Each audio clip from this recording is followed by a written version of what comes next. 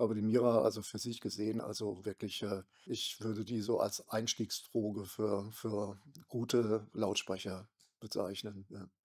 Hallo, ich bin Thomas, komme aus Konstanz und habe jetzt seit äh, über zehn Jahren Abacus-Lautsprecher. Und äh, ich bin an Abacus-Lautsprechern geraten durch einen Test in der HiFi-Zeitschrift, habe dann daraufhin hier bei Abacus angerufen und bin mit Karl-Heinz Sonder in Kontakt gekommen.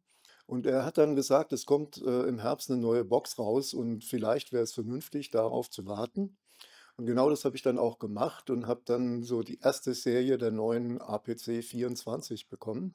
Und war also wirklich, weil es am Anfang ein bisschen Schwierigkeiten gab, das war ein neues Modell, war dann ganz begeistert, wie der Support lief und äh, auch was, was dann so, äh, was weiß ich, einfach so Problembewältigung anbelangte.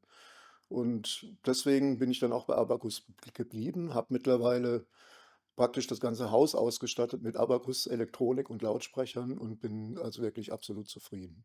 Nach wie vor bin ich begeistert von meinen Trifon 3, die ich persönlich zu Hause im eigenen Hörraum zum Glück stehen habe. Aber von den größeren ist es auch so, dass wir äh, die Modelle mit AMT eigentlich am besten gefallen. Ähm, ja, also die Oscara, die hatte ich auch schon mal zur Probe zu Hause und das ist natürlich ein Traum, ja. Also jemand, der, sagen wir mal, sich überlegt, ob er sich Abacus-Lautsprecher zulegen möchte, dem würde ich raten, auf jeden Fall äh, die, die Möglichkeit zu nutzen, äh, sich die avisierten Lautsprecher als äh, Paket irgendwie schicken zu lassen, weil das ist halt möglich, dass man das macht und die zu Hause auszuprobieren.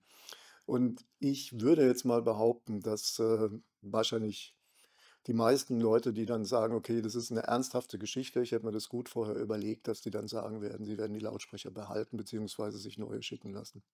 Weil die sind einfach äh, auch vom Preis-Leistungs-Verhältnis also unschlagbar.